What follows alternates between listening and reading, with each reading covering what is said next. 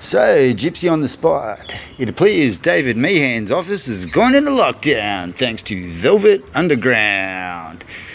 Okay, honey not vinegar guys, works every time.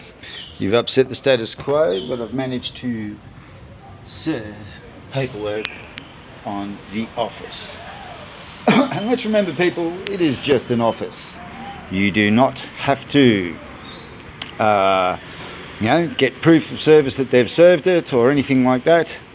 You just go and uh, do your thing and walk away. And here are the police right now. But yeah, something's going on. Must be a bank robbery or something in effect. G'day guys.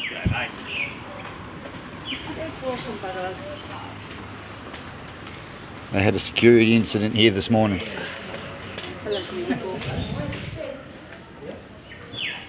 Ooh, this could be interesting.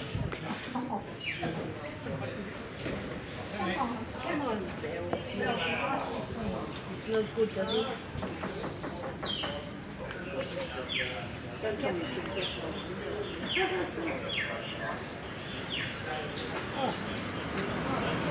G'day guys, I heard there was a bit of excitement here this morning. Oh, just like, I think there was some people trying to have their... Oh yeah, yeah, that's it. I slipped a piece of paper under the door. Yeah, I got proof of service now, so that's all I need. Would- no worries. You guys have a great day, eh? Take care. Try not to tread on the letter, buddy. Yeah.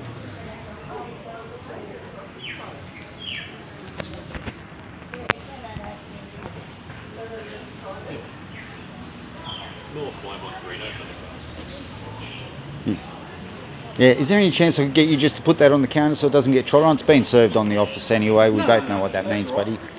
No, I got get here afterwards. Apparently, Velvet Underground were here. Oh, who's that? Oh, it's just some some uh, you know citizen rights crew on on the internet. Oh, okay. Are you with them, are you? No, Oh, okay. no, I'm not with anyone. I came down here for something else.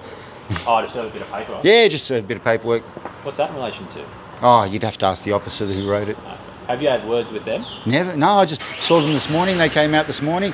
Uh, they, you know, there was a guy outside. Uh, I went to go in. The door was locked. I went okay, so I sort of stood outside and got talking to a bloke outside who needed, uh, you know, some identity or something verified. Okay. You know, and you know, when she came out to serve him, I just said, "Oh, can I just get you guys to take this bit of paper inside?" You know, I, you know, just need a, a receive stamp, and that's about it. And she goes, "Yep," and she walked inside, and that was the last I heard of her. So I waited outside for about five minutes talking to the bloke, slipped, the, you know, got him to witness the piece of paper, slipped it under the door, and I was just on my merry way back. You know, honey, not vinegar with me, buddy. Are you a local layer? Ah, no, Oh, okay. What brings you to Long Jetty? Ah, friend, friends, Ah, good. yeah, just friends. G'day, mate. You know, your lockdown's over. You know, people are relaxing and breathing a bit. Yeah. Oh, it is, man. It's a lovely spot. You know, it actually reminds me of you know Ballina Byron back in the 80s and 90s. Yeah, somewhat. Yeah, it's starting to green up here. It's not what I remember. Yeah. But thank you, buddy. You have a wonderful day. Yeah, my name is Constable Toms. I'm just Gypsy. Police. Oh, yeah. Pleasure. Gypsy? Gypsy, uh, know, uh, Is that on a bit of paper, is it? yeah, it's on a bit of paper, mate. The letter's addressed to me, you know, and, uh, you know, all it is is, like I said, I'm not serving it to, to take, take action on anyone. You know, I'm just informing them and then I'm walking away. What anyone does from that point onwards up to them. Anything else I can do for today, sir? No, that's it. You know, you've, you've, you, you know, proof of service. You know, it doesn't get more, you know, more stand up than a than a police officer. Well, if there's any dramas, you know where we are. Thank you very much, sir. You have a wonderful day.